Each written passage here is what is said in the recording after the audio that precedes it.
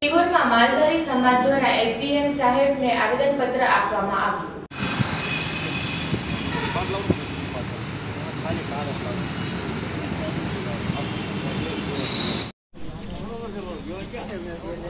Receive કરવા ગયા. આવી આવો ધીરુભાઈ આવ્યો આવો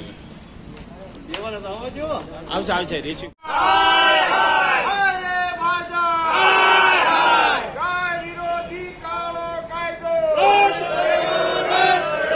ગાય વિરોધી કાળો કાયદો અરે ભાષા અરે ભાષા ગાય વિરોધી કાળો કાયદો ગાય વિરોધી કાળો કાયદો ગાય વિરોધી કાળો કાયદો અરે ભાઈ ગાય વિરોધી કાળો કાયદો ગાય વિરોધી કાળો કાયદો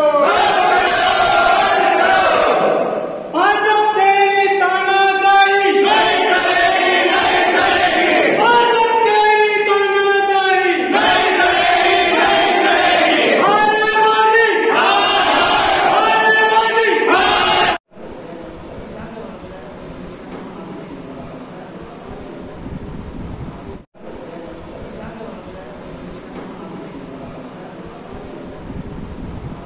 બધા આવી જાય સાહેબ, આ સરકાર જે નવું વિધેયક લાવી અને ગૌ વિરોધી કાળો કાયદો લાવી છે, એના વિરોધમાં માલધારી સમાજ જે છે એ ગામડાઓની અંદર ખૂબ ગુજરાતમાં આખામાં માલધારી સમાજની રોજીરોટી ઉપરની તરાપ છે.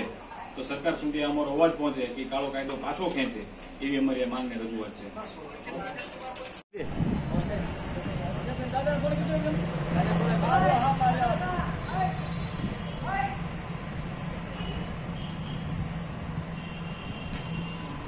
નમસ્તે, અમિત લવટુકા પ્રમુખ ગુજરાત પ્રદેશ કોંગ્રેસ માલધારી સેલ આજરોજ સિહોર મામલતદાર કચેરી ખાતે માન્ય પ્રાંત સાહેબને સમગ્ર સિહોર તાલુકાના માલધારી સમાજ દ્વારા આવેદનપત્ર આપવામાં આવ્યું છે.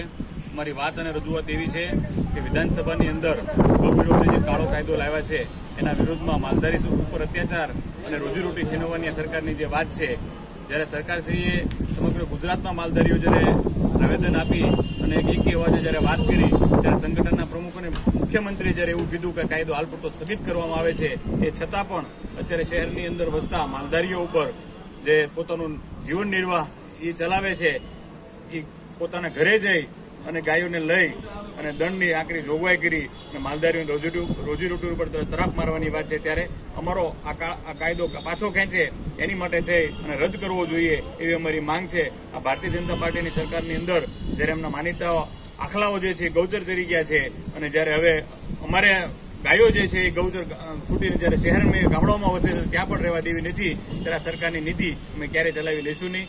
જ્યારે દારૂવાળા ખુલ્લે આમ હોય અને દૂધવાળાને દંડ આ ભાજપ સરકારની જ્યારે નીતિ છે, એનો ચોક્કસપણે અમે વિરોધ કરીશું. અને જો સરકાર નહીં સમજે, તો આવતા દિવસોની અંદર તાલુકા લેવલે નહીં જિલ્લા લેવલે ગુજરાતની અંદર આનું આંદોલન થશે. અને સરકારશ્રીને અમે સચિવાલય પણ ત્યાં જશું અને ગાયો સાથેનો ઘેરાવ કરીશું અને કહેશું કે આ કાયદો ચોક્કસપણે પાછો ખેંચો, મજબૂર કરીશું.